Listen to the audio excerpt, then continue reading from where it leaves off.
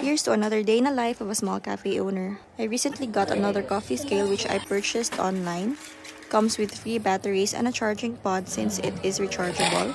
A lot of you guys has been asking us why we use a coffee scale every time we make coffee. The thing is, when you're using a coffee scale every day to make coffee, you can be positive that you are getting the same results every time. Of course, there are a lot of other factors such as grinding, tamping, and pulling the shots, but using a coffee scale gets a more consistent result.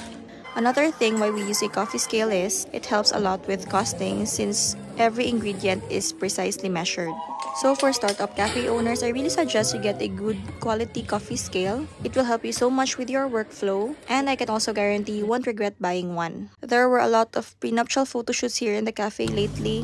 That's why we haven't filmed as much and here's us replenishing our stocks. That's it for today. See you tomorrow. Bye!